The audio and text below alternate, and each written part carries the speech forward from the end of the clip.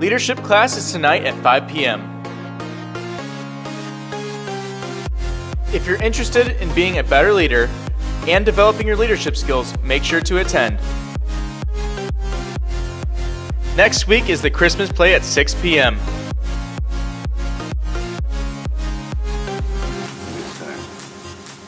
Make sure to invite your friends.